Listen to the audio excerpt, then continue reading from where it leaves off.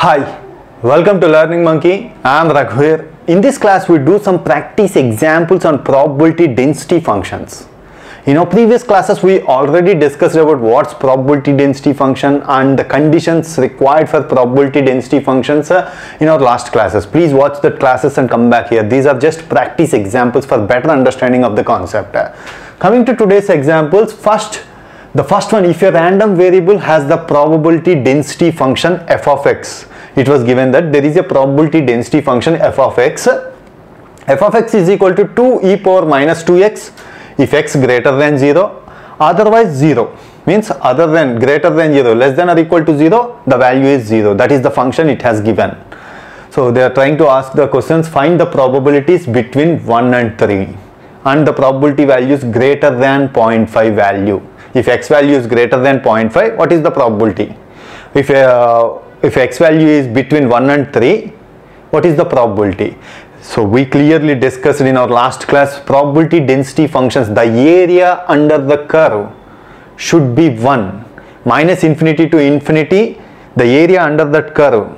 So the area under this function should be equal to 1 those functions can be used as a probability density function. It was already given this is a probability density function. Means minus infinity to infinity if you substitute in this function the area under that curve should be 1 it will be 1 now from the given question probability of 1 less than or equal to x less than or equal to 3 is equal to means uh, we need to identify the area between the curve between 1 and 3 so big area is nothing but probability value we are going to get. These intuitions, these graphical intuitions provided in our previous class.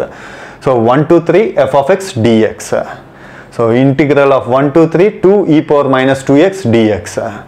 So if you take out the 2 outside e power minus 2x if you do the integration value that is the we will get e power minus 2x by minus 2 from 1 to 3 we have to substitute when we substitute here minus e power minus 6 minus e power minus 2 take the minus inside e power minus 2 minus e power minus 6 so this is the probability value. We are not uh, substituting the values. Finally we have to substitute the value of e here. Now coming to the second one.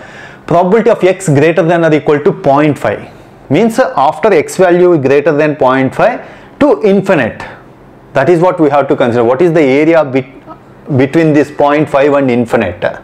So 0.5 to infinite f of x dx we are not doing the integration again. We showed this integration e power minus 2x by minus 2 we have to substitute 0.5 to infinite. So minus e power minus infinite minus e power minus 1 e power minus infinite means 1 by e power infinite. E power infinite means infinite. 1 by infinite means 0 so 0 minus e power minus 1 that is equal to e power minus 1. This is the probability value.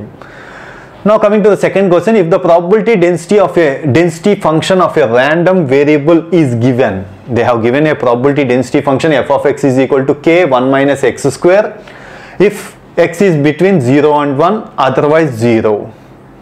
For all the remaining values the probability uh, the f of x value is 0 that is the function it has given. So they are trying to ask the question find the value of k which k suits this value.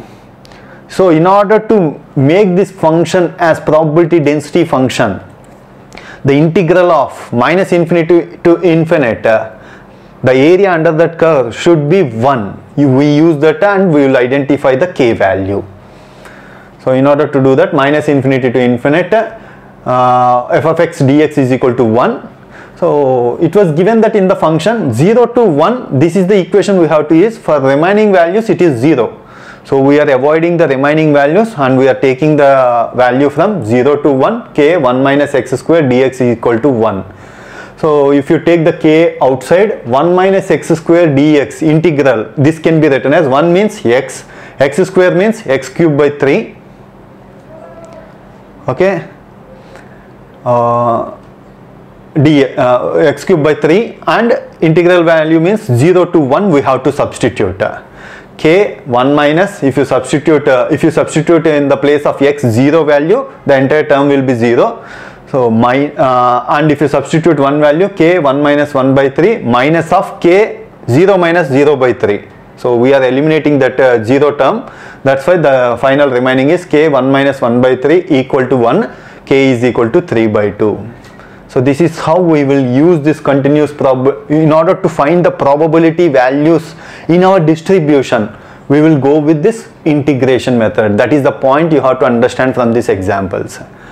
Hope you understand the concept. If you have any questions regarding the concept, please post your questions in the comment section below. Thanks for watching. If you haven't subscribed to our channel, please subscribe to our channel and press bell icon for the latest updates. Thank you.